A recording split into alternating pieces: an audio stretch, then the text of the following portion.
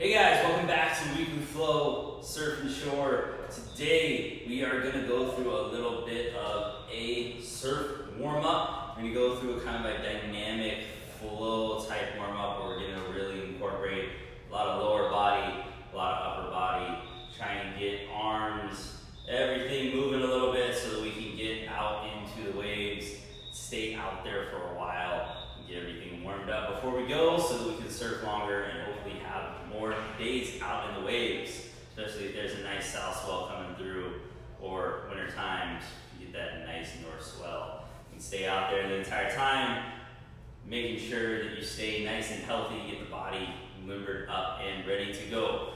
So through this, we're gonna go through kind of a series of movements where one is going to kind of go into another. The reason I really like this is it's very dynamic. It requires a lot of muscle warm up and a lot of kind of dynamic control that you're really going to need for surfing, as well as incorporating into it a mobility component to make sure that we're moving the way that we should, whether we're paddling, whether we're popping up, whether we need to rotate through thoracic spine in order to get out into the waves. So we're gonna start off, I'm gonna kind of do this traveling. You can do this stationary if you're not on the beach or if you're on the road or something you don't have a nice little runway to go with, you can do this one in place. I like moving with it. I feel like it just helps a little bit more with the flow, but you can try it out however you want to do it. So we're gonna start off nice and easy, just going down, little walk out. From here, going into a little push up. Arms are gonna come back, out in front, out in front, we're just gonna kind of press down, really try and make sure we're reaching our fingers out up top. From here, gonna kind of slide down, going back up into that push-up position. Go up into a little bit of a cobra, add a little bit of a twist. Get a little neck movement in there as well, making sure that we can rotate through there. From here, going into a lunge. We go up nice and tall, reaching up, going down, rotating a little bit, going other side, rotating through.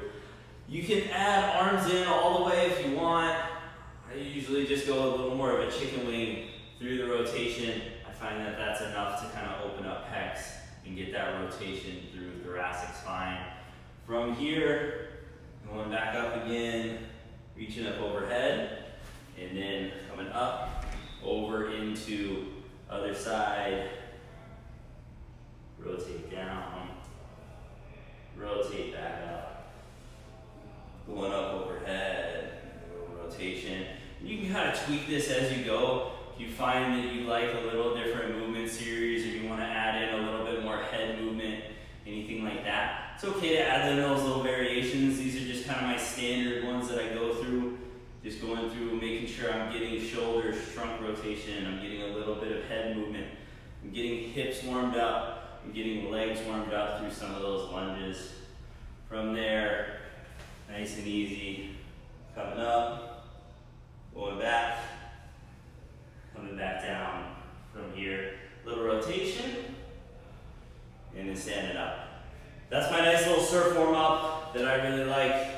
Helps out, very dynamic. A lot of legs, a lot of thoracic rotation. Those are gonna be the big things that I really think that you need that are gonna help out, keep you healthy while you are surfing. Try that out, see what you think. If you like it, there's more mobility videos over on our YouTube.